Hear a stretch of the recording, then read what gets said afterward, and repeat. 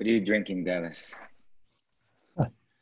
This is celery, uh, um, cucumber, spinach, olive oil, avocado oil. Wow. A bit of motor oil to keep the digestive tract working. Yeah.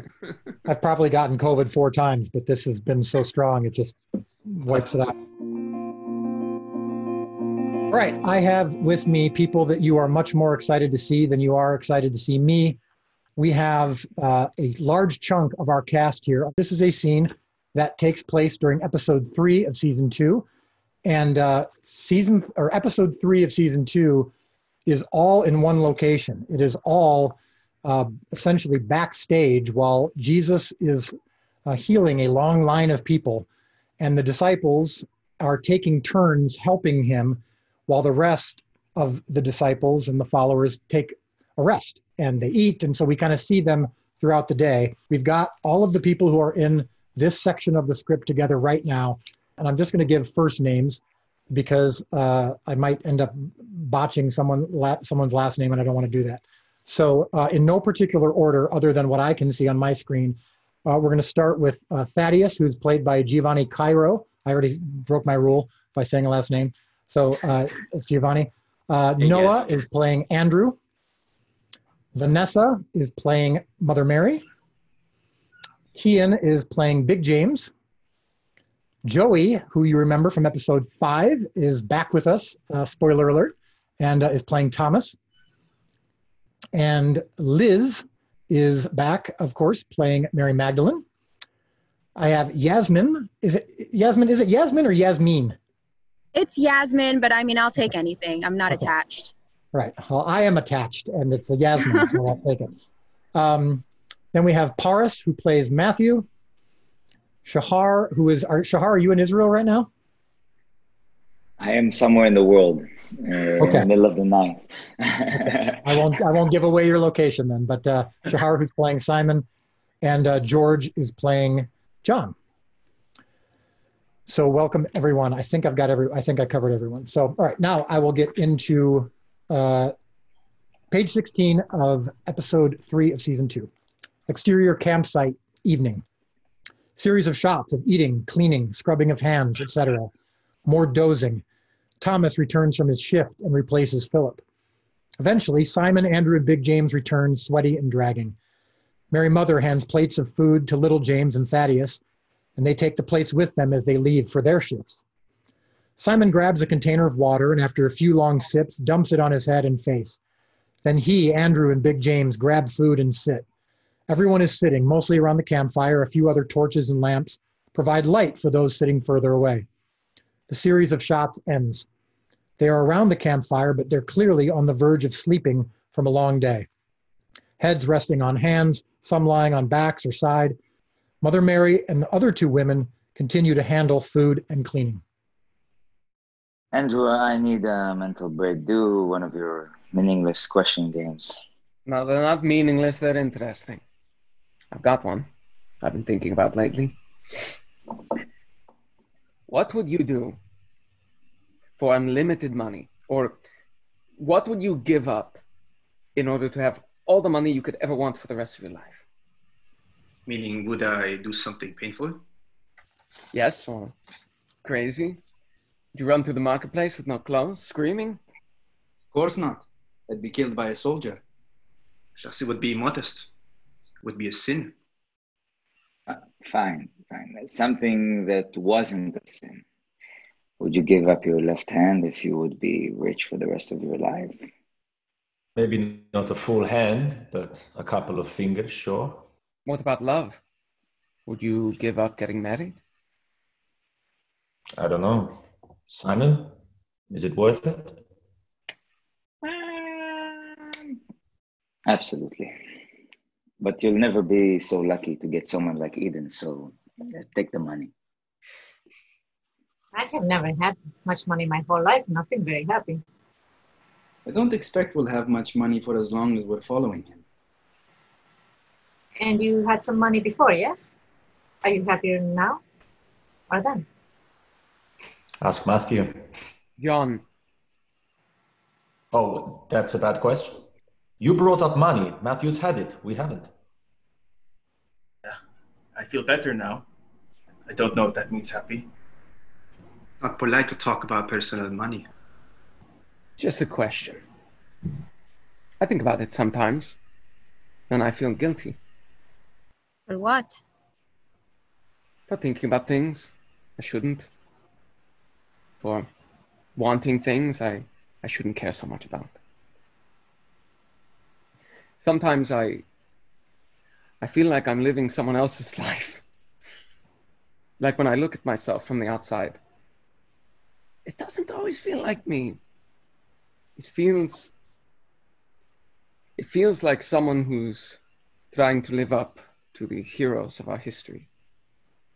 As if I have to do something great, but I know I'm not great. I feel that more now being with him. I understand. I feel like I need to not make any more mistakes. How do you think I felt? You must feel it every day, no? Not anymore. He always reassured me, and God always made me feel as though I shouldn't be burdened. So, how did you feel when it happened? And what happened? His birth, even before that? How did you know and when did you know who he was? I don't know. We're all tired. Do you want to hear all that?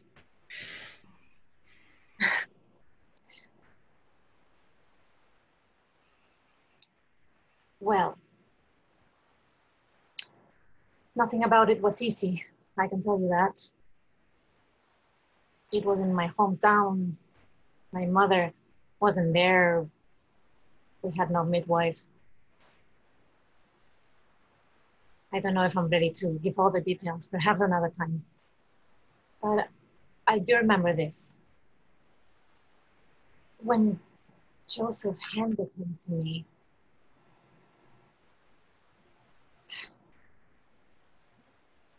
it was nothing like uh, I expected.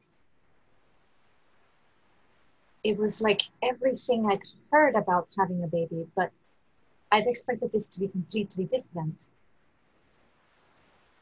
Do you mean?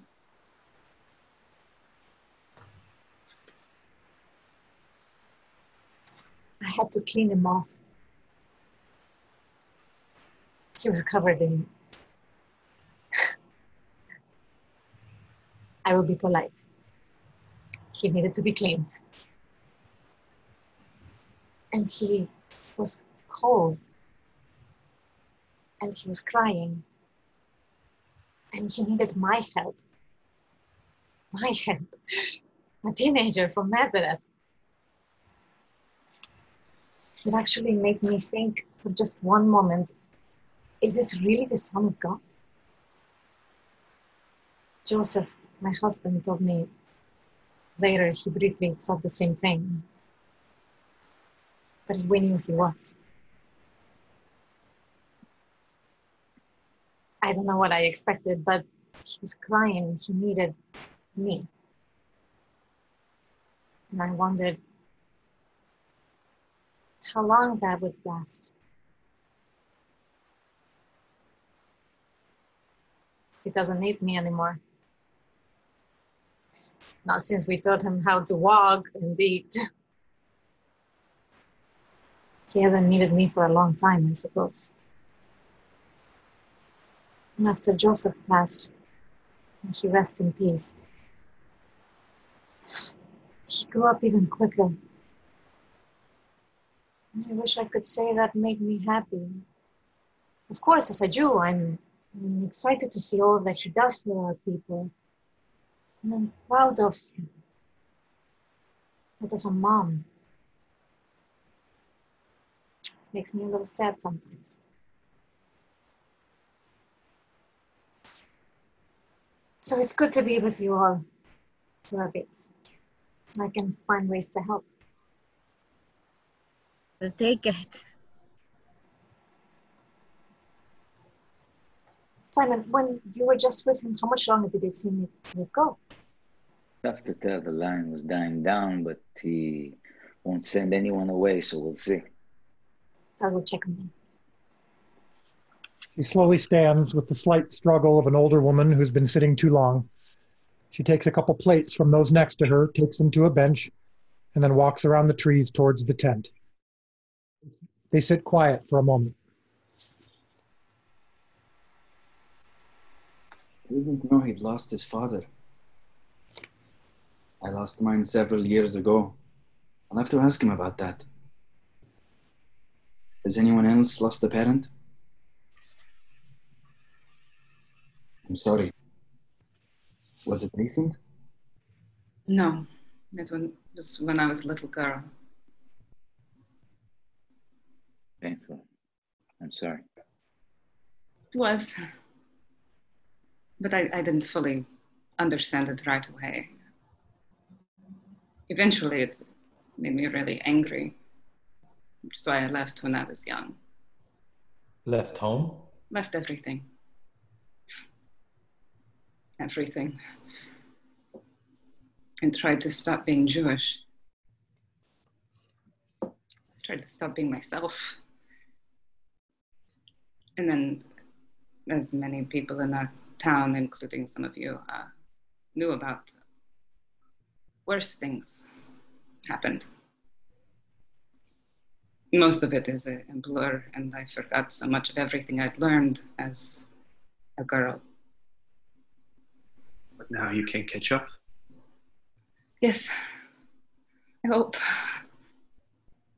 With Matthew and Ramah, you, you all are so far ahead and you're so good at all of this. We're not as good as you think. Most of us. But you were the one with your nose in the writings, still are. Ah, a little. Not like some others. Come on, you can recite half of Torah if you wanted to. Thaddeus arrives back from his shift. A few nod at him as he takes his seat. Still going. Couldn't do anymore. They said they've got it. I really I want to be a good student. I don't think any of us went to Bet Midrash or did much study after school. That's what's so surprising about all of this. Thomas, did you? no. I was in the family business the day after I graduated. 13 years old. I was preparing and serving food at weddings. I wasn't a student at all, believe me. I wasn't even good at praying until recently. I would get bored with it, the same thing over and over. I learned to love it as I got older. I wasn't great at any of it when I was a student. I wasn't either. I didn't like all the rules. I never struggled with it. I do what I'm told. Yes, I'm the same. I've always been a rule follower. I've always loved the history, the stories. So I've always loved the rules too. Simon. I have my moments. Okay. One time when my parents were asleep, I had meat and cheese just to see what I was missing. Have you ever done that? No, I'd feel too guilty.